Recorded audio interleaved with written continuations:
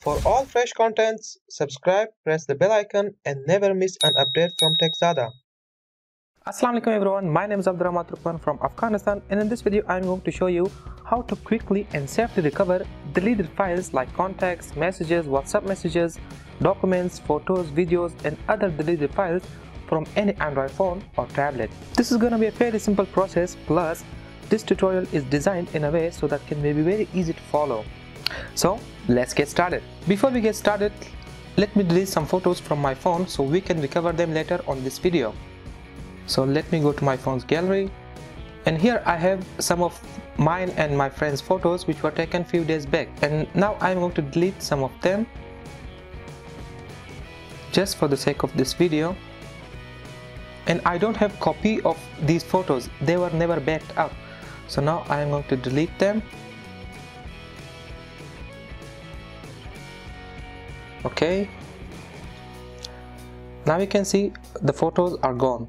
Not only photos you can recover any kind of deleted files from your android phones or tablets. It's very easy to delete files accidentally from your android smartphone but recovery isn't as simple as there is no recycle bin on android devices. So let me make it simple for you. Let me show you how you can quickly and safely recover any kind of deleted files from your android devices using Wondershare Dr.Fone to download Doctor for Android Data Recovery, click on the link in the description below. It will take you to its official website. Once you are there, just click on try it for free and download and install the software for free. But if you want to recover super important data from your Android device, then it's highly recommended to buy this software. If you want to buy this software, then please purchase it from my link. That would be huge huge support for this channel. But anyways trying out the software is absolutely free. Once you install Dr.Fone on your computer just open it up. Now select data recovery option. Now it's asking you to connect your phone to your PC via USB cable. So now I'm going to connect my phone to PC through USB cable okay now it's asking you to enable USB debugging on your phone to do that, go to your phone settings. Now scroll all the way down, tap on about device. Now tap 5 to 7 times on build number.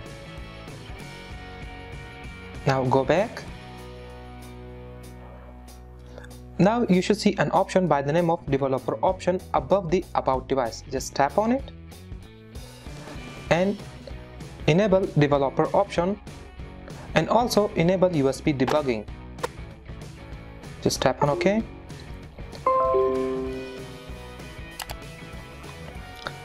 Whenever you see some pop-up like this just check mark this option and tap OK. Now my phone is connecting to the PC once your phone is connected to the PC now select the file types that you want to recover. In my case I'm going to select only gallery because I want to recover only my photos. You can select all the options if you want but I'll go with only gallery. After that click on next. Now it's gonna analyze our device. This is gonna take few seconds. Remember during this recovery process make sure your computer is connected to the internet. If your computer is not connected to the internet the recovery process will not work. And also during the recovery process do not use your phone. Otherwise all the process will go down. Okay now it's scanning my device. It's gonna take a while depending on your recovery size. Now scanning process is completed. As you can see this software has found bunch of photos from my phone and most of these photos were deleted previously. Now select the files that you want to save into your computer. In my case I'm going to select the photos that were deleted once you've done that, click on recover to save these recovered files into your computer. In my case, I'm going to save these files into my desktop in a new folder. Then click on recover. And as you can see, these are the photos that were deleted from my phone.